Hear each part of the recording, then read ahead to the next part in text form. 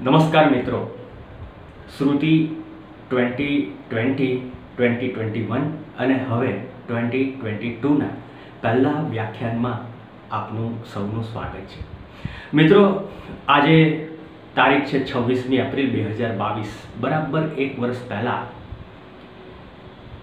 સમાજશાસ્ત્ર વિભાગ સૌરાષ્ટ્ર યુનિવર્સિટીના અધ્યક્ષ અને બહુ જાણીતા પ્રાધ્યાપક એવા પ્રાધ્યાપક ડૉક્ટર હરેશ ઝાલા આપણી વચ્ચેથી વિદાય લઈ ગયા. સદેહે તો એ આપણી સાથે નથી, પરંતુ તેમણે જે કામ કર્યું છે, તેમનું જે સંશોધન કાર્ય છે, તેમનો, તેમણે વહેંચેલો વિદ્યાર્થી વચ્ચેનો પ્રેમ છે, એ બધી જ બાબતો આપણી સાથે જ છે.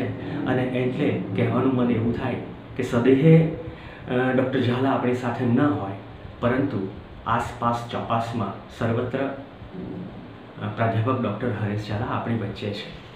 એક અધ્યાપકને એક અધ્યાપક તરીકે એક એમના વિદ્યાર્થી તરીકે જો અંજલિ આપવાની હોય તો બહુ સ્વાભાવિક છે કે અધ્યાપકને તો એકેડેમિક કાર્યો દ્વારા જ અંજલિ અપાય. આ સંદર્ભમાં આજે સમાજશાસ્ત્ર વિષયમાં પ્રાધ્યાપક ડૉક્ટર ઝાલાનું જે ખેડાણ છે, એ ખેડાણની વાત કરવાના છીએ. માત્ર એક જ વિષય ઉપર વાત કરશું, પણ આ એક જ વિષય એટલો લાંબો અને વિસ્તૃત છે કે કદાચ એમાં બે વ્યાખ્યાન પણ કરવા પડે. બે વ્યાખ્યાન કરવા પડે તો પણ વાંધો નહીં, કારણ કે હરેશ ઝાલાના કામની આપણે વાત કરવાના છે.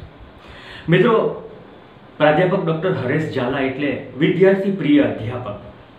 એકવાર વિદ્યાર્થી વર્ગખંડમાં આવે, પછી એની સાથેનો સંબંધ એ અધ્યાપક બને કે અન્ય કોઈ કોઈ પણ વ્યવસાયની અંદર જોડાય. પણ એ વિદ્યાર્થીની સાથેનો નાતો પ્રાધ્યાપક ડૉક્ટર હરેશ ઝાલાનો આજીવન નાતો બને. રાજકીય વિચારધારાની દ્રષ્ટિએ હરેશ ઝાલા એક ચોક્કસ વિચારધારા સાથે સંકળાયેલા હતા અને સજ્જડ રીતે સંકળાયા હતા. તેમ છતાં, જ્યારે અધ્યાપન, અધ્યયન અને શિક્ષણની અંદર વિદ્યાર્થીઓને સાંકળવાની વાત આવે, ત્યારે હરેશ જલ્લા હરેશ ઝાલા રાજકીય વિચારધારાથી પર હતા. એટલે પોતાના વિચારથી, સામેની વિચારધારાનો કોઈ વિદ્યાર્થી હોય, તો પણ એક વિદ્યાર્થી તરીકે એ સામેના છેડે છે. એમ કરીને ક્યારેય એની સાથે અન્યાયપૂર્વક વર્તતા નહીં, ઉલટાનું. એને પણ બહુ જ સારામાં સારી જો એની આવડત હોય, એની વિશેષતાઓ હોય, તો એને પણ આગળ લઈ જવાનું, ધાર કાઢી અને સમાજ સમક્ષ પ્રસ્તુત કરવાનું કામ તેમણે કર્યું છે. આજે ઝાલા સાહેબની પ્રથમ પુણ્યતિથિએ સમાજ જીવનને નજીકથી જોનારા, સૌરાષ્ટ્રના સમાજ જીવનને નજીકથી જોનારા, નજીકથી જાણનારા, અનુભવનારા અને પ્રખર રીતે સમાજશાસ્ત્રી તરીકે જેમણે સમાજશાસ્ત્રમાં સૌરાષ્ટ્રના સમાજ જીવનને વ્યક્ત કર્યું છે એવા હરેશ ઝાલાના અભ્યાસો વિશે વાત કરવી છે. સમાજશાસ્ત્રની અંદર એવું કહેવાય કે પ્રાધ્યાપક ડૉક્ટર ઝાલાએ લખ્યું છે ખૂબ જ ઓછું, પરંતુ જે કંઈ લખ્યું છે એ બળકટ લખ્યું છે.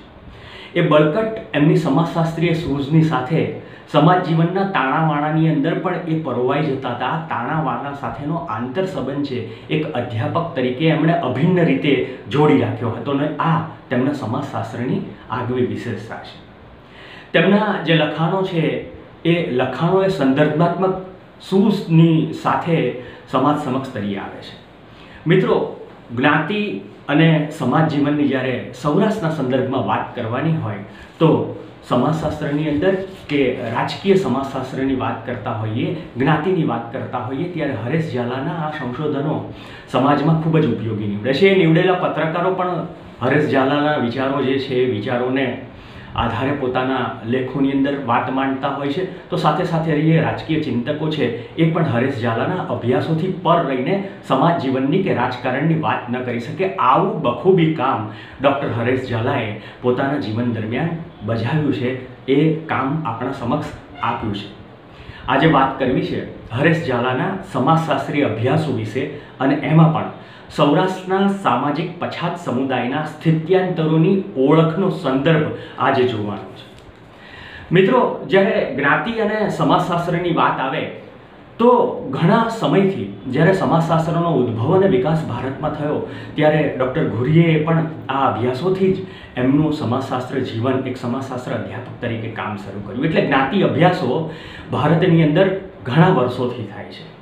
સત્તરસો ચોર્યાસીમાં રોયલ એશિયાટિક સોસાયટીની સ્થાપના થઈ અને એ પછી ફ્રાન્સિસ બુચન અને એમ સેરિંગે હિન્દુ કાસ્ટ એવું અઢારસો એક્યાસીમાં પુસ્તક લખ્યું. આ પણ જ્ઞાતિ વિશેની વાત. હિન્દુઓની જ્ઞાતિ વિશેની વાત એમણે કરી. આ અભ્યાસ પછી ભારતીય સમાજ વ્યવસ્થામાં જ્ઞાતિના અભ્યાસો બાબતે વધુ વ્યવસ્થિત બન્યું. અને અઢારસો એક્યાસીમાં જે પુસ્તક આપ્યું, એ પછી હર્બર્ટ રિઝલેએ સૌ પ્રથમ અઢારસો એક્યાસીના સેન્સસ રિપોર્ટ દ્વારા જ્ઞાતિ વ્યવસ્થાનું વર્ગીકરણ કર્યું. મિત્રો, મજાની વાત એ છે કે રિઝલેએ આ જે વર્ગીકરણ ક્લાસિફિકેશન કર્યું, એને આધારે એથનોગ્રાફિક સ્ટડીઝનો એક નવો અધ્યાય ભારતીય સમાજ વ્યવસ્થામાં એથનોગ્રાફિક સ્ટડીઝને આધારે શરૂ થયો. આની આપણે નોંધ લેવી પડે. તો સાથે સાથે ઓગણીસો એકત્રીસના વસ્તી ગણતરીના અહેવાલ સેન્સસને આધારે જે એચ હટને કાસ્ટ ઇન ઇન્ડિયા નામનું પુસ્તક લખ્યું. ઘોરીએ ક્લાસ કાસ્ટ એન્ડ ઓક્યુપેશન ઓગણીસો એકસઠમાં આપ્યો અને એમાંથી આપણે છ જ્ઞાતિના લક્ષણો સોરી જ્ઞાતિના છ લક્ષણો આપણે વર્ગખંડમાં આજે પણ વિદ્યાર્થીઓને ભણાવીએ છીએ. વિદ્યાર્થીઓ આ જ્ઞાતિના લક્ષણો સાથે ભારતીય સમાજ વ્યવસ્થાને, ભારતીય સમાજને સમજે એવો એક પડઘો સતત ઝીલાતો હોય છે. જ્ઞાતિના અભ્યાસો એટલા માટે ભારતીય સમાજ જીવનને સમજવા માટે ગુજરાતમાં અને ભારતભરમાં સતત ને સતત થતા રહ્યા છે. એની નોંધ લેવી પડે. જ્યારે આપણે ગુજરાતની વાત કરીએ તો અઢારસો ત્રેસઠમાં કવિશ્વર દલપતરામે જ્ઞાતિનો પહેલ પહેલીવાર નિબંધ લખ્યો અને આ રીતે ગુજરાતમાં પણ જ્ઞાતિ વિશેની ચર્ચાઓ શરૂઆતથી જ બહુ સારી રીતે થવા માંડી. કવિશ્વરને એ માટે ઇનામ પણ આપવામાં આવ્યું. એ પછી આપણે જો આગળ વાત કરીએ તો પ્રશિષ્ટ સમાજશાસ્ત્રીય દ્રષ્ટિકોણથી કામ થયું હોય એવું આપણે જોઈએ તો Gujarat tribe and caste of Bombay presidency આવું એક કામ થયું અને એની અંદર એથોવનને આપણે કરીએ. તો ડૉક્ટર થુથીએ વૈષ્ણવ્સ ઓફ ગુજરાતનો અભ્યાસ કર્યો. પારસીઓનો અભ્યાસ બીવી શાહે કર્યો.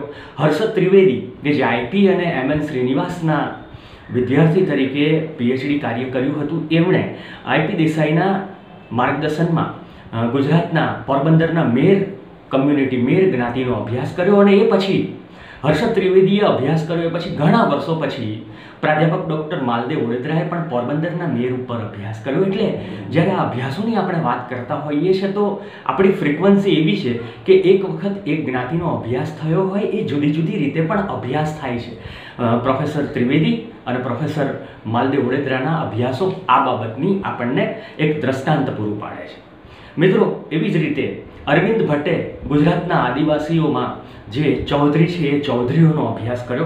જયપ્રકાશ ત્રિવેદીએ પાટીદાર જ્ઞાતિનો અભ્યાસ કર્યો. જયપ્રકાશ ત્રિવેદીએ પાટીદાર જ્ઞાતિનો અભ્યાસ કર્યો એ પછી, ઘણા સમય પછી ગુજરાત યુનિવર્સિટીના સમાજશાસ્ત્રના અધ્યાપક સંગીતા પટેલે પણ પાટીદાર વ્યવસાયી મહિલાઓ છે એનો અભ્યાસ કર્યો. ટૂંકમાં, જે જ્ઞાતિની વાત આવતી હોય છે તો જ્ઞાતિના અભ્યાસોની સાથે ગુજરાત અભિન્ન રીતે જોડાયેલો છે. માત્ર ગુજરાત કે ગુજરાતીઓ કે ભારત કે ભારતીયોએ જ આ અભ્યાસો કર્યા છે એવું નથી. એનાથી પણ આગળ જઈને આપણે જોઈએ તો આંતરરાષ્ટ્રીય ખ્યાતિ પ્રાપ્ત સોશિયોલોજિસ્ટ ડેવિડ પોકોકે પણ પાટીદારોનો અભ્યાસ કર્યો છે. એવી જ રીતે ગુજરાતમાં ગૌરાંગ જાનીએ, પ્રોફેસર ડૉક્ટર ગૌરાંગ જાનીએ જ્ઞાતિ શિક્ષણ અને વ્યવસાયના સંદર્ભમાં જ્ઞાતિની ભૂમિકા તપાસવાનું અને ગતિશીલતાને સમજવાનું અને સમજાવવાનું કામ તેમના સંશોધન ગ્રંથ પીએચડી સંશોધન દ્વારા કર્યું છે. મિત્રો આ રીતે અનેક અભ્યાસો ગુજરાતમાં થયા છે અને સૌરાષ્ટ્રની આપણે વાત કરીએ તો સૌરાષ્ટ્રમાં પણ અનેક અભ્યાસોની પરંપરા જ્ઞાતિના અભ્યાસોની સાથે જોડાયેલી છે. જ્ઞાતિ અભ્યાસની આ પરંપરામાં જોડાયેલું એક એવું નામ એટલે હરેશ ઝાલા કે જેના સ્મૃતિ વ્યાખ્યાન રૂપે આજે આપણે સૌ આ યુટ્યુબ ચેનલના મારફતે ભેગા થયા છે. મિત્રો, જેમણે સૌરાષ્ટ્રની જ્ઞાતિ વ્યવસ્થા અને સમાજ સમાજ જીવન ઉપર બહુમૂલ્ય સંશોધન કર્યા છે એવા હરેશ ઝાલાના અભ્યાસ વિષયની ખાસ બાબત જે રહી છે એ સામાજિક ઓળખના સંદર્ભમાં ઓબીસી જ્ઞાતિઓની વાત એમણે સતત એમના અભ્યાસોમાં કરી છે. એક વખત જે અભ્યાસ આપ્યો હોય એની અંદર પણ ક્યાંક સમાજ જીવનમાં સામાજિક પરિવર્તન આવે, સામાજિક બદલાવ આવે, સામાજિક વિકાસ આવે, તો એ વાતને હરેશ ઝાલાએ તેમના ત્રણથી વધારે દાયકાના અધ્યાપન જીવનની અંદર પણ સતત સમાર્જિત કરી અને એડિટિંગ કરી, સંપાદન કરીને સમાજ સમક્ષ મૂકવાનું કામ કર્યું છે મિત્રો. ડૉક્ટર હરેશ ઝાલાના અભ્યાસની બહુ જ અગત્યની બાબત એ હતી કે તેમણે જે કોઈ અભ્યાસ કર્યા એ અભ્યાસની અંદર ફિલ્ડની સાથે જોડાઈને તેમણે આ કામ કર્યું છે. તો આવા જ ફિલ્ડની સાથે જોડાયેલો એક અભ્યાસ એટલે સૌરાષ્ટ્રના સામાજિક પછાત સમુદાયના સ્થિત્યાંતરની ઓળખનો સંદર્ભ એ તેમણે પર્યાયમાં ઓગણીસો પંચાણું છન્નુંમાં લેખ રૂપે રજૂ કર્યો હતો અને એ યથાતથ તમારી સમક્ષ રજૂ કરવાનો હું પ્રયાસ કરું છું. મિત્રો, હરેશ ઝાલાની ભાષા, હરેશ ઝાલાની સમજણ અને હરેશ ઝાલાના આંતર સંબંધોની સાથેની જે લેખીની છે એ બહુ અદ્ભુત છે. એક વાચક તરીકે જો આપણે એને વાંચીએ, સંશોધક તરીકે નહીં, વાચક તરીકે, તો પણ હરેશ ઝાલાની લેખિનીમાં એક એવી પ્રવાહિતતા છે કે એ જ્યારે એક સંશોધનનો વિષયની સાથે કામ કર્યું હોય, લખેલો લેખ હોય એમનો, એ વાંચવા બેસો, તો એક સાહિત્યની પરિપાટીની અંદર લખાયું હોય, એવો સહેજે આપણને અહેસાસ થાય. મિત્રો, સૌરાષ્ટ્રમાં હરેશ ઝાલા ઓબીસી જ્ઞાતિ સમૂહનો પરિચય આપતા લખે છે કે સામાજિક રીતે કચડાયેલા પછાત વર્ગો માટે શૈક્ષણિક પછાતપણું અને સામાજિક પછાતપણું નિર્ધારિત કરવા માટે અનેક પંચો સમિતિઓની રચના કરવામાં આવી હતી. મદ્રાસ સરકારે એમાં પહેલ કરી અને અઢારસો પંચ્યાસીમાં ખાસ સુવિધાઓ આપવા માટે જોગવાઈ કરી. અને ઓગણીસો અઢારમાં મૈસૂરના મહારાજાએ બિન બ્રાહ્મણોના સંદર્ભમાં નોકરીઓમાં પૂરતું પ્રતિનિધિત્વ આપવા માટે આવી જોગવાઈ કરી. જો કે આઝાદી પછી ઓગણીસો બાવન પંચાવનના વર્ષ દરમિયાન કાકા સાહેબ કાલેલકરના પ્રમુખ પદે સામાજિક રીતે પછાતો માટે, પછાત જ્ઞાતિઓ માટે કમિશનની રચના કરવામાં આવી અને આ કમિશને ઓગણીસો પંચાવનમાં તેમનો અહેવાલ આપ્યો. મિત્રો ડૉક્ટર ઝાલા આગળ વધતા કહે છે કે સૌરાષ્ટ્રમાં પછાત કોમોની વસ્તી મોટા પ્રમાણમાં છે. જૂના સૌરાષ્ટ્ર રાજ્ય પણ જરૂરી અને યોગ્ય તપાસ કરી સો જ્ઞાતિ સમૂહોને પછાત જ્ઞાતિ કે કોમ તરીકે જાહેર કરેલી હતી. સૌરાષ્ટ્રમાં ઓબીસી જ્ઞાતિ સમૂહ અનેકવિધ સ્વરૂપનું વૈવિધ્ય ધરાવે છે. સૌરાષ્ટ્રમાં વસ્તી પોતાની અસલિયત સાથે જીવતી આ વિવિધ જ્ઞાતિઓની ઓળખ આપવા માટે હરેશ ઝાલાએ પાંચ સમૂહમાં આ જ્ઞાતિ સમૂહોને વિભાજિત કર્યા છે. મિત્રો, જ્યારે સૌરાષ્ટ્રની આપણે વાત કરતા હોઈએ તો સૌરાષ્ટ્રના સમાજ જીવનમાં જ્ઞાતિ એ ઓળખની સાથે સજ્જડ રીતે જોડાયેલી છે. એટલે એક જ્ઞાતિને આપણે જે જે જ્ઞાતિની ઓળખની સાથે ઓળખતા હોઈએ, એની સાથે સૌરાષ્ટ્રની આપણે વાત કરતા હોઈએ, તો સૌરાષ્ટ્ર એ મજાકમાં કે ઉતરતી રીતે વાત કરવા કે ચડિયાતી રીતે વાત કરવા એ જ્ઞાતિની બીજી ઓળખ હોય એવો શબ્દ પણ પ્રયોગતા હોય છે. આવી સૌરાષ્ટ્ર જીવનની સામાજિક તાસીર વ્યક્ત કરતી જે વાત છે એમાં ડૉક્ટર ઝાલાએ પાંચ ભાગમાં આ ઓબીસી જ્ઞાતિઓને વિભાજિત કરી છે. એમાં પહેલા ભાગમાં એ લખે છે, કૃષિ વ્યવસ્થાપન સાથે સંકળાયેલી જ્ઞાતિ. કૃષિ અને વ્યવસ્થાપન સાથે સંકળાયેલી. એમાં એમણે કુલ છ જ્ઞાતિઓનો ઉલ્લેખ કર્યો છે. જેમાં કાઠી કૃષિ અને પશુપાલન, આહિર કૃષિ અને પશુપાલન, કારડિયા રાજપૂત કૃષિ, પશુપાલન અને નોકરી. મેર કૃષિ, પશુપાલન, વ્યવસાય અને સાથે સાથે મેરના કૃષિ અને પશુપાલન સિવાયના પણ વ્યવસાયની વાત કરે છે. મહિયા અથવા તો મૈયા જે કૃષિ અને પશુપાલન સાથે સંકળાયેલા છે અને કોળી કૃષિ, માછીમારી અને છૂટક મજૂરી સાથે આ જ્ઞાતિઓ જોડાયેલી છે. પહેલા ભાગમાં તેમણે છ જ્ઞાતિઓનો ઉલ્લેખ કર્યો છે. બીજો ભાગ તેમણે પાડ્યો છે, એની અંદર દરિયા કિનારે વસતા મત્સ્ય ઉદ્યોગ સાથે સંકળાયેલા જ્ઞાતિ સમૂહોની વાત કરી છે. જેમાં કોળી, વાઘે, હિન્દુ અને મુસ્લિમ બંને, ખલાસી નાવિક, મિયાણા, પઢાર ખારવાનો ઉલ્લેખ કર્યો છે. ત્રીજા ભાગમાં એમણે જે જ્ઞાતિ સમૂહ આપ્યા છે એ મનોરંજન, નાચગાન, ભિક્ષાવૃત્તિ, ધાર્મિક ભવાઈ, નાટક વગેરે સાથે સંકળાયેલી જ્ઞાતિઓના સમૂહની વાત કરી છે. એમાં પણ એમણે છ જ્ઞાતિઓનો ઉલ્લેખ કર્યો છે. આ છ જ્ઞાતિઓમાં તરગાળા એટલે કે ભવાઈ કરતા હોય એ જેને ભવૈયા તરીકે પણ ઓળખવામાં આવે છે. નટ બજાણિયા, ભાંડ, ભિક્ષાવૃત્તિ અને નાચગાન બંને કરતા હોય એવા માધવિયા કથા, જ્યોતિષ જોવું, ગાવું અને પછાત સમૂહની અંદર મનોરંજન કરનારી આ જ્ઞાતિ છે. તો સાથે સાથે મુંડા એ હિન્દુ અને મુસ્લિમ બંનેમાં આવે છે. નાચગાન રસ્તા પર અંગ કસરતના પ્રયોગો કરી અને એ મનોરંજન કરાવે છે અને સાથે સાથે પોતે ભિક્ષાવૃત્તિ સાથે પણ સંકળાયેલા છે. આ ત્રીજા ભાગમાં આ જ્ઞાતિઓની વાત કરી છે. ચોથા ભાગમાં ડૉક્ટર ઝાલા જે સમજાવે છે જ્ઞાતિ અને સૌરાષ્ટ્રના અન્ય પછાત વર્ગોની જ્ઞાતિઓને એમાં છૂટક મજૂરી, છૂટક વ્યવસાય અને પરંપરાગત રીતે આ જ્ઞાતિઓ આ વ્યવસાય સાથે સંકળાયેલી છે એ જ્ઞાતિ સમૂહોની વાત કરી છે. એમાં સતવારા કે સથવારા? જેઓ બાંધકામ ક્ષેત્રે કામ કરી રહ્યા છે, પ્લમ્બિંગનું કામ કરે છે, સગર ખેત મજૂરી સાથે જોડાયેલા છે લુહારિયા એટલે લુહારનો ધંધો જે કરતા હોય, છરું, છરી, ચાકુ સજાવવા, વહેંચવા, એ કામ સાથે સંકળાયેલા છે. કાંગસિયા, દાંતિયા એટલે કે કોંબ, કાંસકો, કાંગસી એટલે કે કાંસકી, વેચવાનું તથા મલના ખેલ કરનારી આ જ્ઞાતિઓ છે. ઓળ તળાવો ખોદવાનું કામ એ ઓડનું કામ હોય, માટી ખોદવાની અને પથ્થર કાઢવાની પરંપરાગત મજૂરી સાથે આ જ્ઞાતિઓ જોડાયેલી છે. કુંભાર એ માટીકામ અને માટીના વાસણો બનાવવા, રમકડા બનાવવા, નળિયા અને ઈંટો પાડવી એવા વ્યવસાય સાથે સંકળાયેલી છે અને સાતમી જ્ઞાતિ એમણે ખસિયા એટલે કે માછીમારી અને ખેતી સાથે સંકળાયેલી જ્ઞાતિ તરીકે મૂકી છે. આઠમી જ્ઞાતિ તેમણે ગરવી તરીકે ઓળખ આપી છે. ગરવી જે ખેત મજૂરી અને ખેતી સાથે સંકળાયેલી છે. નવમી જ્ઞાતિમાં તેમણે ખાંટને રજૂ કર્યા છે. જેઓ ખેત મજૂરી અને છૂટક મજૂરી સાથે સંકળાયેલા છે. ગધઈ હિન્દુ અને મુસ્લિમ બંને જ્ઞાતિઓમાં આ જ્ઞાતિઓ સમાવેશ છે. ગધેડા ઉપર માટી લઈ જવી મીઠું લઈને વેચવાનું કામ કરવું આ બધું કામ આ જ્ઞાતિ સાથે સંકળાયેલી છે. પાંચમા અને છેલ્લા ભાગમાં ડૉક્ટર હરેશ ઝાલા પરંપરાગત સંસ્કાર વાહક જ્ઞાતિ સમૂહ તરીકે જુદી જુદી જ્ઞાતિઓને ઓળખાવે છે. જેમાં ચારણ એ પશુપાલન અને કૃષિની સાથે તો સંકળાયેલા છે, પણ સાથે સાથે કાવ્યો રચવા, લોક સંસ્કૃતિને ધબકતી રાખવાનું પણ કામ કરે છે. એવી જ રીતે જામ કમીર મીર, તમે ઇસ્માઇલ મીર, અમીના મીર, આ જે મીર કમ્યુનિટી છે, એના ઉપર એક સહેજ વિચાર કરો તો હરેશ ઝાલાએ જે આ વિભાજન દ્વારા જ્ઞાતિ સમૂહને સમજાવવાનું કામ કર્યું છે, કેટલું બેનમૂન છે એ પણ ખબર પડે. મીર ભિક્ષાવૃત્તિ સાથે પણ સંકળાયેલી છે. સાથે સાથે, જે પછાત જ્ઞાતિઓ છે, એમને ધર્મ અને જ્ઞાનબોધ આપવાનું પણ સરસ મજાનું કામ કરે છે. ગીત અને સંગીત સાથે જોડાયેલી આ જ્ઞાતિ છે અને ત્રીજી જ્ઞાતિ છે એ જિલાયા આ જિલાયા એ સામાજિક કુરિવાજો સામે નાટક દ્વારા સામાજિક પરિવર્તન અને સામાજિક વિકાસનું કામ કરે છે. સાતમી જ્ઞાતિ આ સમૂહમાં આવે છે જાગીવાદી, એટલે કે રાવણ હથ્થા પર ગીત ગાઈ અને લોકરંજન કરી અને ભિક્ષાવૃત્તિ એ લોકો કરે છે.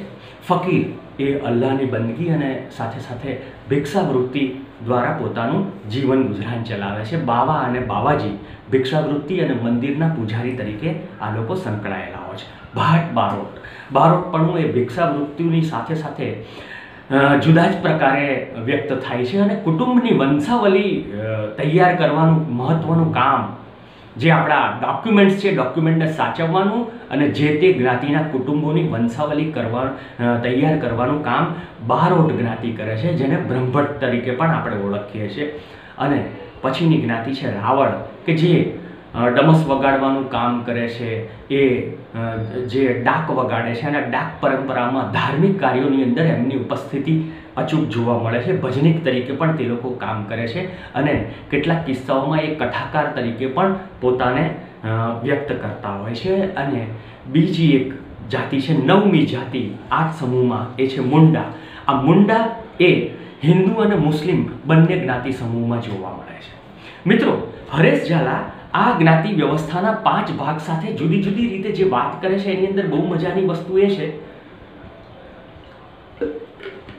કે જ્ઞાતિને સમજાવવા માટે એ જે પાંચ ભાગ પાડે છે એ એટલે અદ્ભુત વાત છે કે સમાજ જીવનની અંદર વિવિધ જ્ઞાતિ સમુદાયોના અભ્યાસોમાં હરેશ ઝાલાની જેમ પાંચ ભાગમાં જુદી જુદી ઓબીસી જ્ઞાતિઓને જ વિભાજિત કરી અને પાંચ ભાગમાં સમજાવવાનો આ પહેલ પહેલો પ્રયાસ છે. હરેશ ઝાલાએ સૌરાષ્ટ્રના સમાજ જીવનને અને અન્ય પછાત વર્ગોમાં સમાવેશ જ્ઞાતિઓને સમજાવવાનો આ એક બહુ જ મોટો પ્રયાસ આપણી સમક્ષ મૂક્યો છે.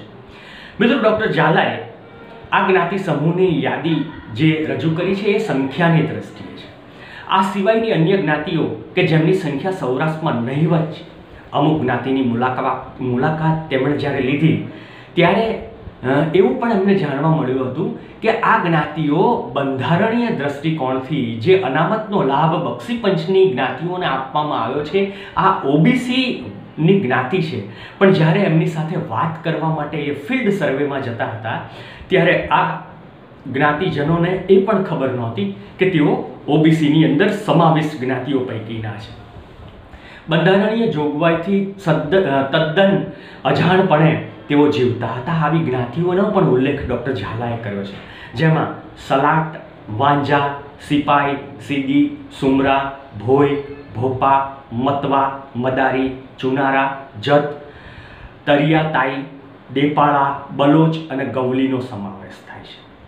મિત્રો, આ લોકોને બંધારણીય વ્યવસ્થા પ્રમાણે એમને જે લાભ આપવામાં આવ્યો છે, એ લાભ અપાયો છે એ બાબતની પણ ખબર નહોતી.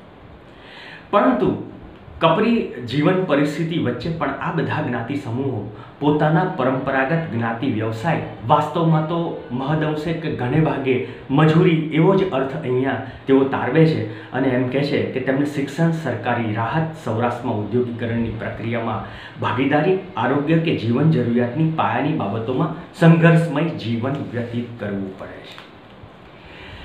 સૌરાષ્ટ્રમાં ઓબીસી જ્ઞાતિ સમૂહ ઐતિહાસિક વિહંગાવલોકન વ્યક્ત કરતા ડૉક્ટર ઝાલા કહે છે કે સૌરાષ્ટ્રમાં રાજ્યની સ્થાપના બાદ જ્યારે ગુજરાત રાજ્ય અસ્તિત્વમાં આવ્યું, ત્યારે સૌરાષ્ટ્ર પ્રદેશમાં પીએસપી એટલે કે પ્રજા સમાજવાદી પાર્ટીનું અસ્તિત્વ હતું. સૌરાષ્ટ્રના સાગરકાંઠાના વિસ્તારોમાં તેનો આછો પ્રભાવ જોવા મળતો હતો. અને એમાં પહેલવહેલી વાર સ્થાનિક સ્વરાજની ચૂંટણીમાં એટલે પંચાયત સ્તરની ચૂંટણીમાં બ્રાહ્મણો અને પાટીદારોની બોલબાલા ની સામે તે વખતના પ્રજા સમાજવાદી પાર્ટીના આગેવાન નવીનચંદ્ર રવાણીએ સત્યાવીસ જ્ઞાતિ સમૂહને, અમરેલીના સત્યાવીસ જ્ઞાતિ સમૂહને ઓગણીસો સડસઠથી સિત્તેરના ગાળામાં એકત્ર કરીને બિન પાટીદાર અને બિન બ્રાહ્મણ એવી આ સત્યાવીસ જ્ઞાતિઓને ભેગી કરીને જેમાં મોટા ભાગે ઓબીસી જ્ઞાતિઓ જ હતી. અને એક નવી જ રાજકીય વિચારધારાનો પ્રારંભ કર્યો. આ સત્યાવીસ જ્ઞાતિ સમૂહ ઓબીસી જૂથના હતા. ઓગણીસો ઓગણસિત્તેરમાં આ રાજકીય ધ્રુવીકરણ જે નોન પાટીદાર અને નોન બ્રાહ્મણીકર મોડેલ સામે અમરેલી અંદર રવાણીએ રજૂ કર્યું, એના પરિણામે અમરેલી નગર પંચાયતમાં પણ ઓગણીસો ઓગણસિત્તેરમાં આ સત્યાવીસ જ્ઞાતિઓએ રાજકીય ક્ષેત્રે સત્તામાં સામેલગીરી કરી. સત્તામાં સામેલગીરી નહીં, સત્તા મેળવી હાંસલ કરી એમ કહીએ તો પણ ચાલે. અને એ પછી નવીનચંદ્ર રવાણીએ આ જે આખા જે પરિણામ મેળવ્યા, એને આધારે આગળ જતા સનત મહેતા જીણાભાઈ દરજી, માધવસિંહ સોલંકી વગેરે પણ જુદી જુદી રીતે બક્ષીપંથની જ્ઞાતિઓની સાથે ધ્રુવીકરણનો માર્ગ અપનાવ્યો અને જુદા જુદા સમયે ક્યારેક ખામ, ક્યારેક પામ એવી જે આખી જ્ઞાતિ સમૂહોની સાથે જોડી અને રાજકીય સત્તા હાંસલ કરવાની વાત પણ ગુજરાતના સમાજ જીવનમાં જોવા મળી. પણ ઓબીસીની જ્ઞાતિઓને એક કરીને સત્તામાં આવવાનું કામ નવીનચંદ્ર રવાણીએ કર્યું એવું હરેશ ઝાલા પોતાના અભ્યાસમાં નોંધે છે અને સાથે સાથે તેઓ એવો પણ ઉલ્લેખ કરે છે કે જે ગુજરાતે આ કામ કર્યું, એવું જ કામ ભારતીય કક્ષાએ, અખિલ ભારતીય કક્ષાએ કામરાજ થિયરી ઉપર ઇન્દિરા ગાંધીએ પણ કર્યું હતું કે જેમાં બ્રાહ્મણો અને ઇતર સવર્ણોને બાદ કરી નવી રાજકીય પરિપાટીનો તેમણે ઉદ્ભવ કર્યો હતો. મિત્રો આ તબક્કે સૌરાષ્ટ્ર પ્રદેશમાં એક મહત્વની બાબત સૌરાષ્ટ્ર રાજ્યની સંદર્ભમાં જોવી પડે. ઓગણીસો એકાવનના ગાળામાં જમીન સુધારણાનું કામ થયું. ભારતમાં આ પહેલ કરનાર સૌરાષ્ટ્ર એ પહેલું રાજ્ય હતું. સૌરાષ્ટ્ર કચ્છના મોટા ભાગના વિસ્તારોમાં જમીનદારી પ્રથા અસ્તિત્વમાં હતી અને જે ત્રણ સ્વરૂપે જોવા મળતી હતી. ગરાસદારો, બારખલીદારો અને ઇનામદારો. જબન, જમીન સંબંધી આવો કાયદો થયે પહેલાં ગરાસદારો ઇનામદારો અને બાર ખરીદારો જેવા સામંતો જમીનના માલિકો થઈને બેઠા હતા. પણ સામંતશાહી વ્યવસ્થાએ સૌરાષ્ટ્રને બસો બાવીસ જેટલા નાના નાના સ્વતંત્ર રાજ્યો કે રજવાડાઓમાં વિભાજિત કર્યા હતા.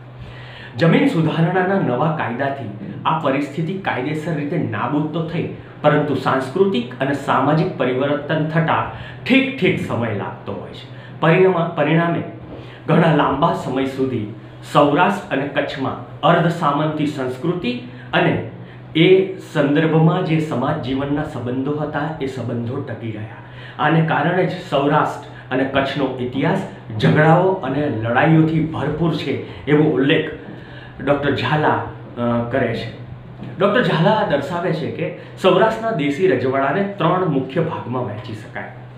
જો મિત્રો જ્યારે ઓબીસી જ્ઞાતિઓને પણ પાંચ વિભાગમાં વહેંચી છે, તો સાથે સાથે હરેશ ઝાલાએ એક સરસ મજાનું કામ એ પણ કર્યું છે કે સૌરાષ્ટ્રને જે ભૂભૌગોલિક દ્રષ્ટિકોણથી અને સાથે સાથે દેશી રજવાડાઓના સંદર્ભમાં પણ ત્રણ ભાગમાં વહેંચવાનું એમણે કામ કર્યું છે. આવું એક કામ હરેશ ઝાલા સિવાય લગભગ નહિવત થયું છે.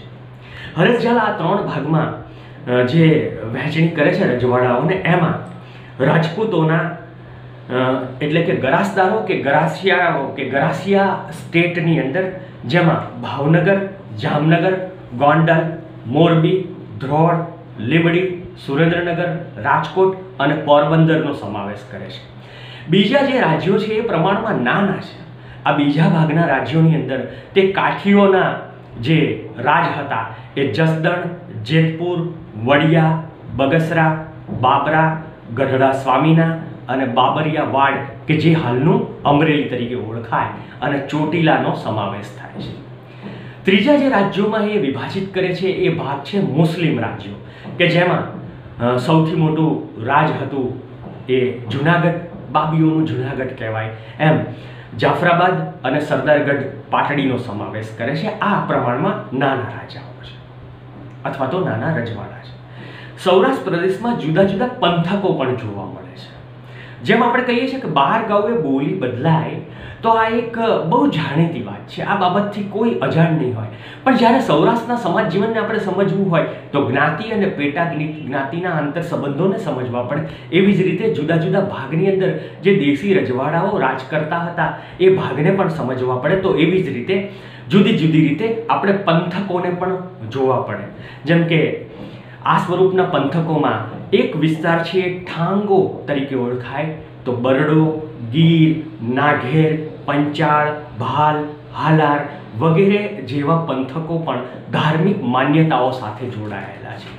દ્રૌપદી અને પાંચાળની ભૂમિ સાથેનો જે સંબંધ છે, એ સંબંધ અહીંયા ડૉક્ટર ઝાલા સીધે સીધો ઉલ્લેખ કર્યા વગર પણ ઉલ્લેખે છે, એની નોંધ લેવી જોઈએ. એટલે ત્રિનેતેશ્વરના મેળાની સાથે સૌરાષ્ટ્રનું સમાજ જીવન કેવું ઓતપ્રોત છે, એ ડૉક્ટર ઝાલાના આ સંદર્ભાત્મક સંશોધન વિષયની અંદર પણ જોવા મળે છે.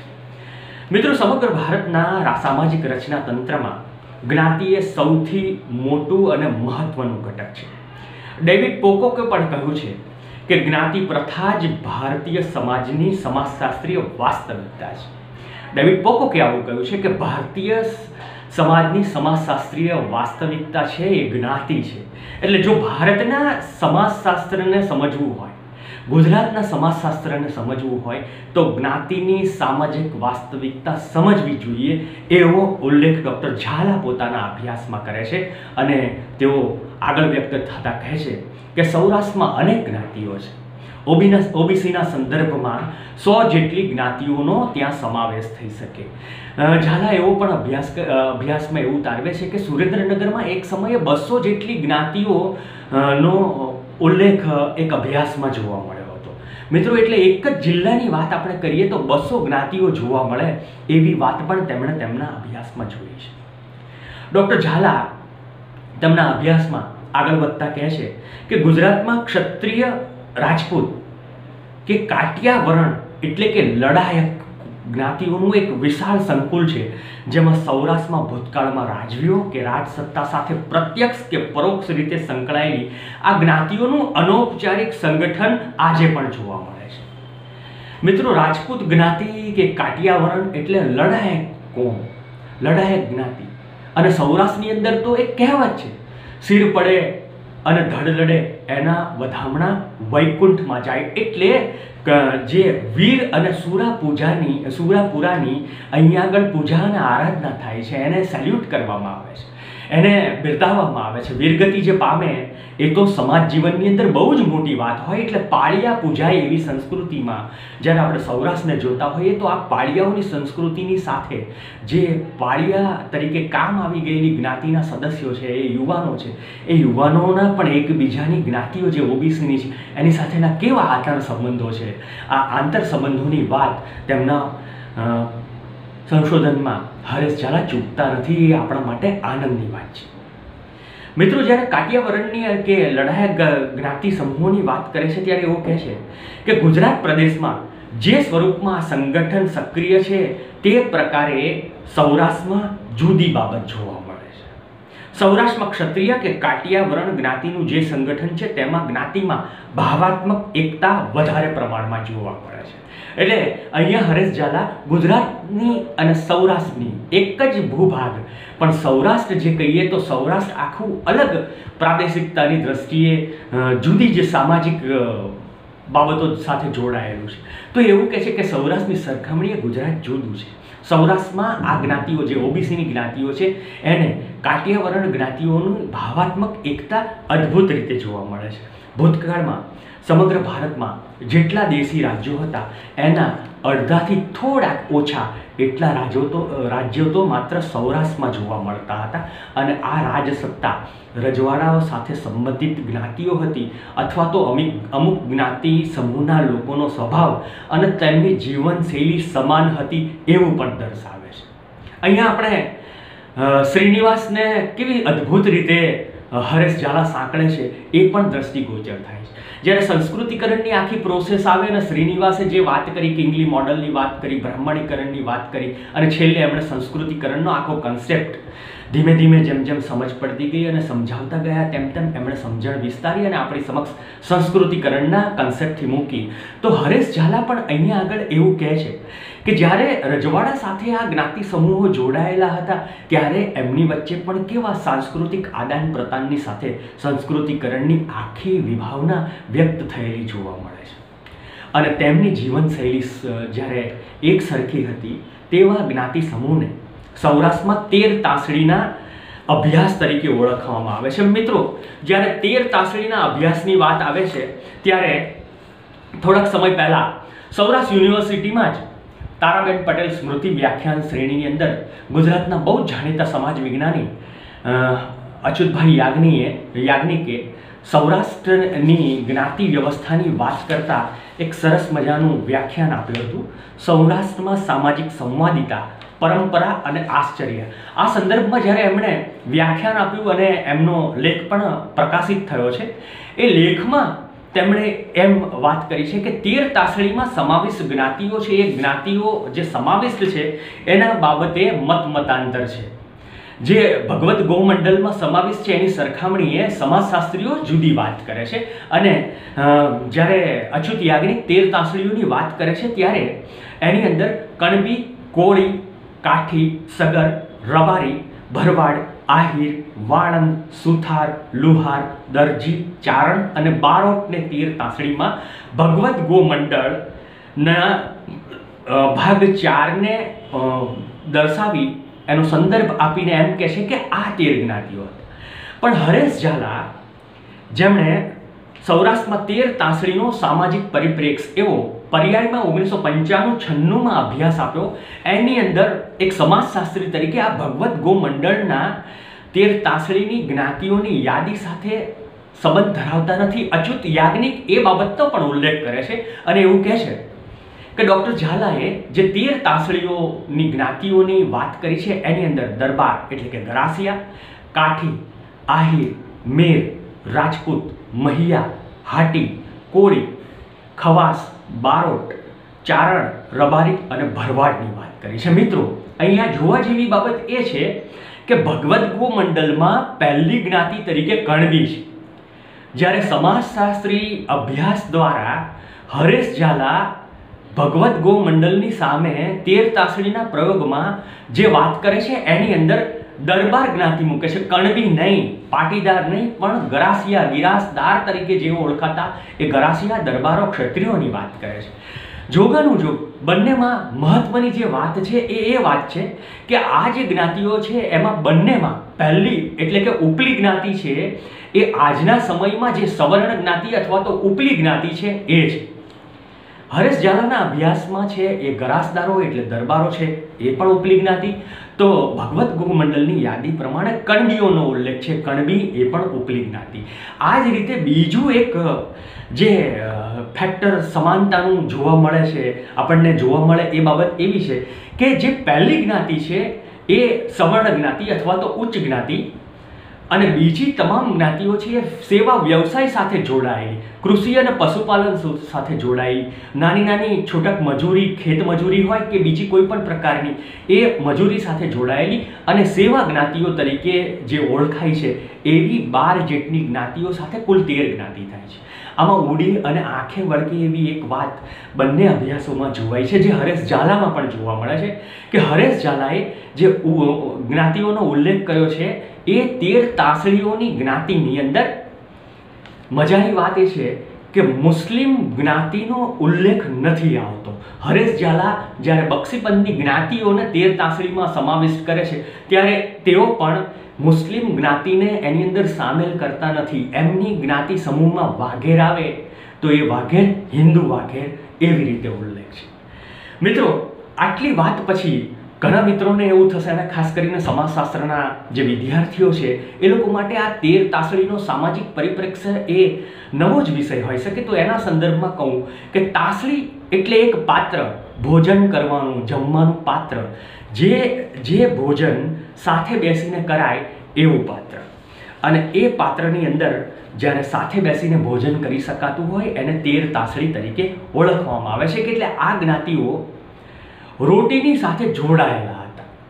અચ્યુત યાજ્ઞિક એવું કહે છે કે તેર તાંસળી એટલે કે એક જ ભાણે જમવાનો વ્યવહાર બહુ જ ઓછી જ્ઞાતિઓમાં સીમિત રીતે હોય, પણ સામાજિક સંવાદિતામાં આ સીમિત તો સીમિત, પણ બહુ જ અદ્ભુત બાબત સમાજ જીવનમાં જોવા મળે છે. ભગવદ ગુ મંડલથી ડૉક્ટર હરેશ ઝાલાના અભ્યાસ સુધીમાં આ તેર તાસળીઓમાં પણ ક્યારેક ક્યારેક બદલાવ આવે છે અને એ વાત ડૉક્ટર હરેશ ઝાલાએ નોંધી છે. મિત્રો, જ્યારે જ્ઞાતિના અભ્યાસો ડૉક્ટર ઘુરીએ કર્યા, ત્યારે એમણે કાસ્ટ ક્લાસ અને ઓક્યુપેશન એવો છેલ્લો એમનો જે અભ્યાસ રજૂ કર્યો, એ પહેલાં સતત એમણે જ્ઞાતિ વિશે વાત કરી. ઝાલા અને ઘુરીએ બંને જ્યારે સામાજિક દ્રષ્ટિકોણથી જ્ઞાતિની મૂલવણી કરવાની હોય, સામાજિક પરંપરાઓ અને વ્યવસાય સાથે, વર્ગ સાથે જ્ઞાતિને જ્યારે આકલન કરવાનું હોય, ત્યારે એક સમાન ઠરે છે. જ્યારે ઘુરીએ આખી જ્ઞાતિ વ્યવસ્થાને ઇન્ડોલોજિકલ સ્ટડીઝના ભાગરૂપે સમજાવવાનો પ્રયાસ કર્યો છે, તો હરેશ ઝાલાએ પણ પોતાના અભ્યાસોમાં આવી બાબતમાં ફેરફાર કર્યો છે. જેમ કે ઓગણીસો પંચાણું છન્નુંના એમના અભ્યાસની અંદર એમણે એક જ્ઞાતિનો ઉલ્લેખ નહોતો કર્યો, પરંતુ જ્યારે એમણે બે હજાર તેર ચૌદની અંદર અભિવ્યક્તિ સામયિકમાં તેર તાસડીના સામાજિક પરિપ્રેક્ષની અંદર સંવર્ધિત અને સંપાદિત લેખ કર્યો, ત્યારે અભિવ્યક્તિના આ ઇસ્યુની અંદરના તેમના લેખની અંદર એમણે પરજિયા સોની એવી એક જ્ઞાતિનો પણ ઉલ્લેખ કર્યો છે અને આ બાબતનો ઉલ્લેખ એમના અગાઉના અભ્યાસોમાં પણ તેર તાસડીના સંદર્ભે ચોખવટ સાથે ડૉક્ટર ઝાલાએ મૂક્યો છે. ઝાલા તેર તાસડીને જ્યારે બદલાવની સાથે જોડે છે ત્યારે એવું કહે છે કે તેર તાસડીનું માળખું સૌરાષ્ટ્રના અમુક ભૌગોલિક વિભાગોમાં ફેરફાર સાથે પણ જોવા મળે છે. દાખલા તરીકે જૂનાગઢ. સોરઠનો, સોરઠના આ જુનાગઢ જિલ્લામાં વાઘેરની વસ્તી જ નથી. તો આ જિલ્લામાં વસ્તી છે હાટી દરબારોની.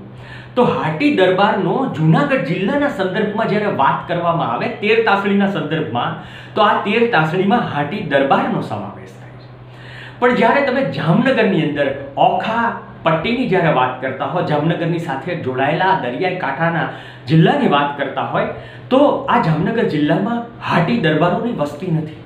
તો ત્યાં આગળ જે હિન્દુ વાઘેર છે, એ જ્ઞાતિનો તેર તાસળીમાં સમાવેશ થાય છે.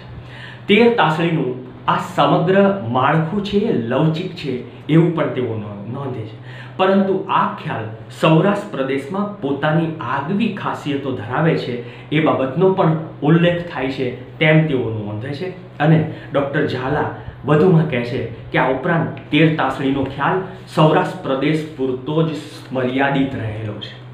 અગાઉ તેમણે કહ્યું હતું તેમ, આ ખ્યાલ લવચિક છે, પરંતુ તેની લવચિકતા કાઠિયાવરણ જ્ઞાતિઓ પૂરતી જ મર્યાદિત રહી છે. કાઠિયાવરણ જ્ઞાતિઓ.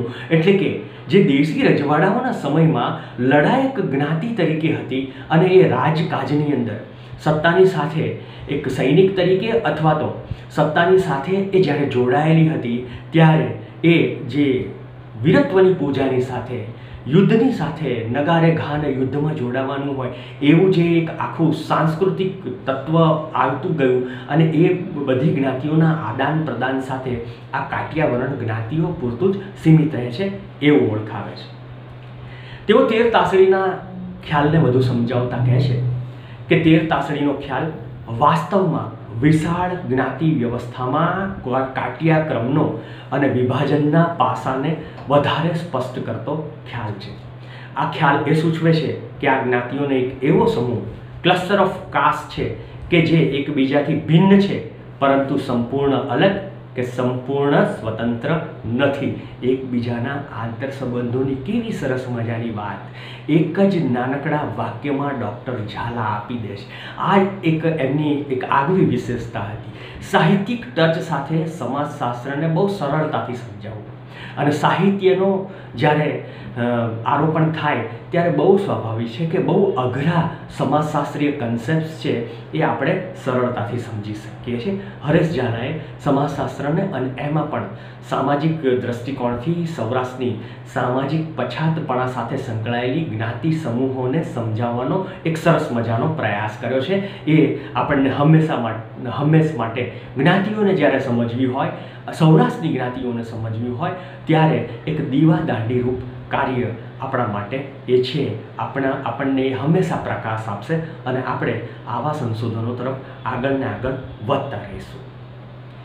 તેઓ કહે છે કે સામાજિક ઓળખ, ખોરાક, પાણી અને વ્યવસાયમાં તેર તાસણીની જ્ઞાતિઓમાં એક વિશિષ્ટ પ્રકારનું સામ્ય જોવા મળે છે. તેર તાસણીના સંકુલમાં કે જેમાં લગ્ન વિષયના અધિલગ્ન અથવા કુલીન લગ્નના ખ્યાલો છે કે જેમાં ચુસ્તપણે પોતાની જ્ઞાતિ અથવા તો તેનાથી ચડિયાતી જ્ઞાતિમાં જ લગ્ન થઈ શકે છે તેવો પણ નિયમ છે. આ ઉપરાંત આ સંકુલ નીચેના બે અંગભૂત ઘટકોનો પણ સમાવેશ થાય છે. મિત્રો, કેવી મજાની વાત છે.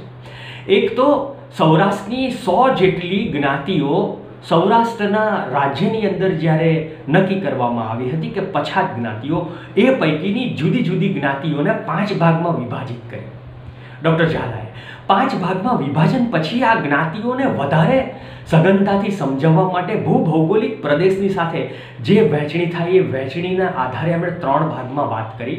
એ સાથે એમણે ગરાસદારો, બારખલીદારો અને ઇનામદારો જે જમીનદારી પ્રથા સાથે સંકળાયેલા હતા, એની વાત કરી અને પછી તેર તાસડીના સામાજિક પરિપ્રેક્ષની પણ વાત કરી. જો તો ખરા, એ જ્ઞાતિ વ્યવસ્થાને સમજાવવા માટે કેવું મોટું કામ હરેશ ઝાલાએ એક જ અભ્યાસ લેખ દ્વારા કરી દીધું છે.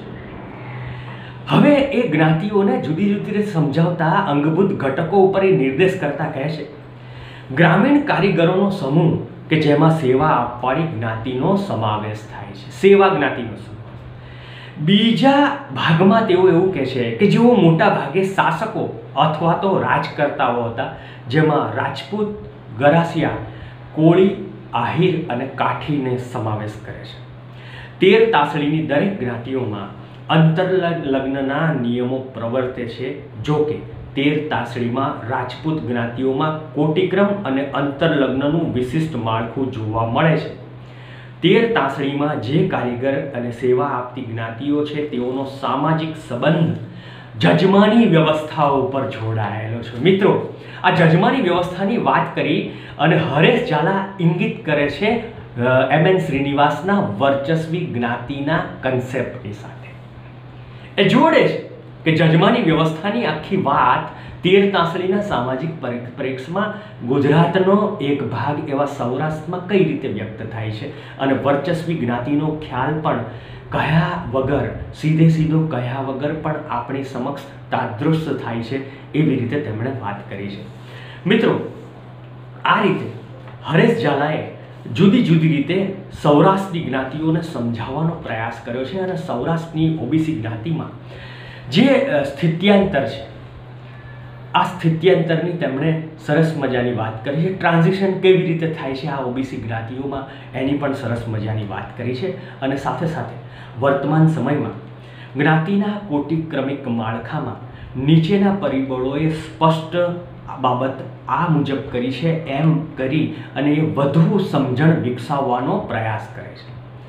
એ જે પરિબળો વ્યક્ત કરે છે, એની અંદર એક કહે છે કે કૃષિ બદલાતી જતી કૃષિ વ્યવસ્થામાં. બદલાતી જતી કૃષિ વ્યવસ્થાની તેઓ વાત કરે છે. સાથે સાથે સરકારી નોકરી અને શિક્ષણ અને ઉચ્ચ શિક્ષણ રાજકીય વ્યવસ્થામાં બંધારણને આધારે જે પરિવર્તન આવ્યું, એ પરિવર્તનની વાત પણ એ આ પરિબળની અંદર જોડે છે. અને સાથે સાથે બદલાતા જતા સામાજિક જીવનમાં આર્થિક બાબતો, આર્થિક માળખાને પણ એ ભૂલતા નથી. ઉપરયુક્ત બાબત, સામાજિક કરતાં અન્ય પરિબળો અને જ્ઞાતિના અંતર્ગત પહેલનું મહત્ત્વ વધી જાય છે તેવું પણ તેઓ કહે છે.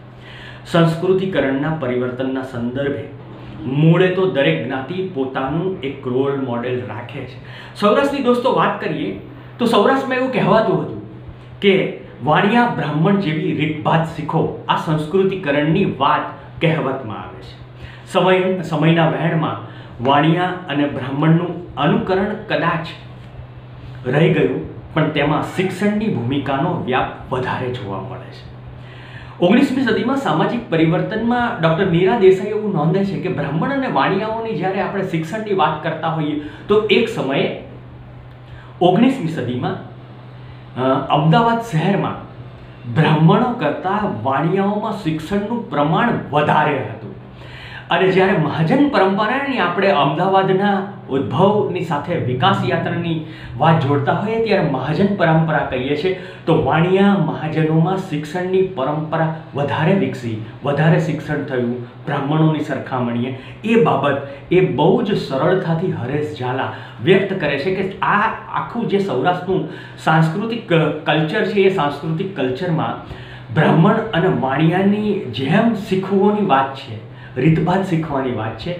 તો એની અંદર કેવી રીતે શિક્ષણનો વિકાસ થાય છે અને શિક્ષણ તમામ જ્ઞાતિઓ કે જે કાઠિયાવરણની જ્ઞાતિઓ છે એ જ્ઞાતિઓ પણ લેતી થઈ છે અને એના આજે પરિમાણો અને પરિણામો આપણી સમક્ષ વ્યક્ત થયા છે એવું ડૉક્ટર હરેશ ઝાલા વ્યક્ત કરે છે. વર્તમાન સમયમાં સૌરાષ્ટ્રની ઓબીસી જ્ઞાતિ સમૂહનું આંતરિક વ્યવસ્થા તંત્રનું પૃથ્થકરણ કરીએ તો પરિવર્તન ગણના પાત્ર છે અને વૈવિધ્યસભર રીતે જોવા મળે છે તેમ ડૉક્ટર ચાલા કહે છે. આ પરિવર્તનને તેઓ જુદા જુદા પ્રભાવ હેઠળ મુખ્યત્વે આ રીતે જુએ છે. પેટા જ્ઞાતિના ભેદભાવો ભૂસા થાય છે. પેટા જ્ઞાતિના ભેદભાવો ભૂસાતા જાય છે. દેટ મીન્સ કે જ્ઞાતિના ભેદો હજી પણ રહ્યા છે. એક જ્ઞાતિ, બીજી જ્ઞાતિ. પણ પેટા જ્ઞાતિના વર્તુળની અંદર થોડીક છૂટછાટ. રાજપૂત આહિર કોળી જેવી સંખ્યાની દ્રષ્ટિએ મહત્વની વસ્તીનું બાહુલ્ય ધરાવતી જ્ઞાતિઓમાં પેટા જ્ઞાતિઓનો ખ્યાલ, ભેદ, તફાવત અગાઉ જેટલો જોવા મળતો નથી.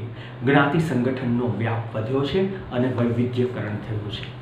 સૌરાષ્ટ્રમાં અનેક નાની જ્ઞાતિઓમાં એકીકરણની પ્રક્રિયાના પ્રારંભની શરૂઆત થઈ છે. આ પ્રક્રિયા ભવિષ્યમાં કેવી રહેશે એ જોવું અને સમજવું રસપ્રદ રહેશે એવું પણ કહે છે તેઓ. સાથે સાથે શૈક્ષણિક સુવિધાઓ, શૈક્ષણિક સેવાઓ, આરોગ્ય સુવિધાઓ અને આરોગ્ય સેવા અને નાના ધિરાણની સેવાઓ પણ પેટા જ્ઞાતિ અને જ્ઞાતિના વર્તુળોમાં વધવા માંડી છે. આ પણ એક જુદા જ પ્રકારનું એકત્વની વાત પોતપોતાની જ્ઞાતિઓમાં જોવા મળે છે. એક બાજુ પેટા જ્ઞાતિનું વર્તુળ ભૂસવાની વાત અને સાથે સાથે મદદ કરવાની વાત અહીંયા જોવા મળે છે.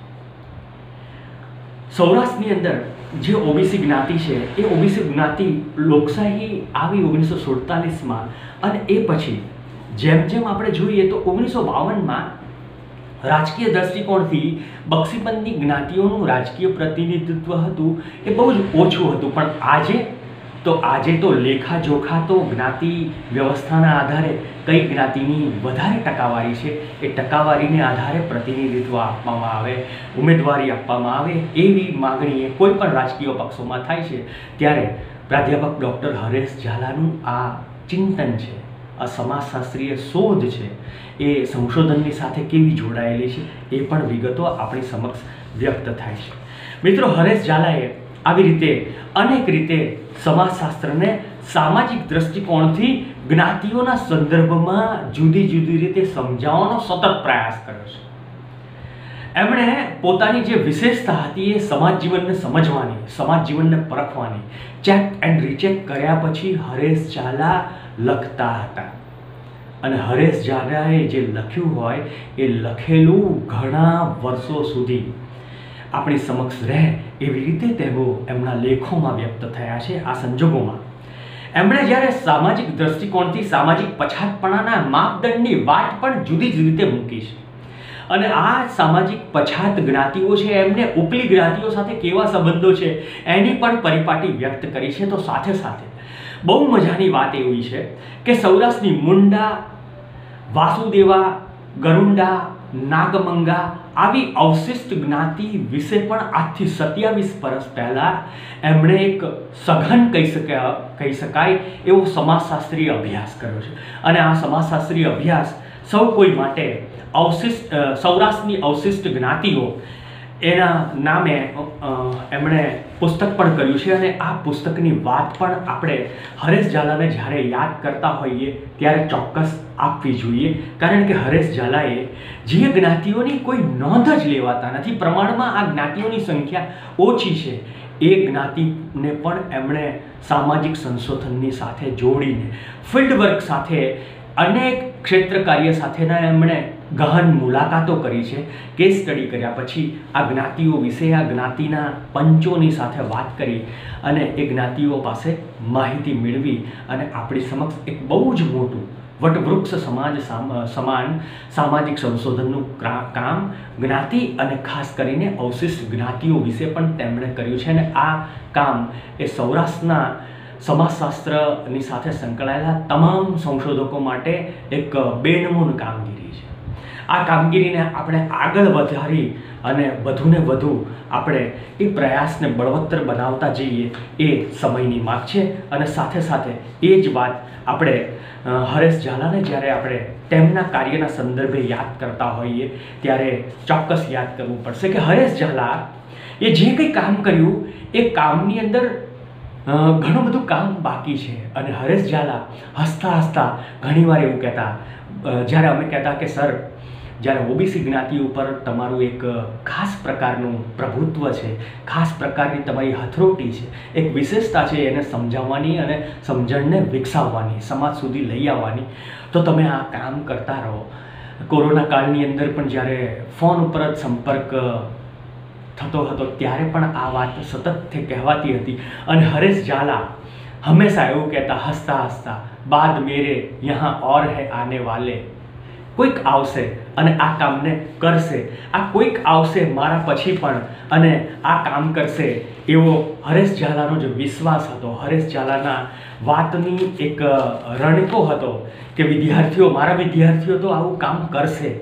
એક વિદ્યાર્થી તરીકે, એક સમાજશાસ્ત્રના સંશોધક તરીકે આપણે હરેશ ઝાલાએ જે આદરેલું હતું, એ આદરેલું હતું, એની અંદર કામ સતત થઈ શકે એવું છે. એ આદરેલા અધૂરા ન રહે.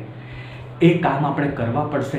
એ જ સાચી અંજલિ પ્રાધ્યાપક ડૉક્ટર હરેશ ઝાલાને આપીને આપણે એમને સતત યાદ રાખીશું. એમના સમાજશાસ્ત્રીય જે જ્ઞાન છે, એ જ્ઞાનના વારસાને આપણે આગળ ધપાવશું.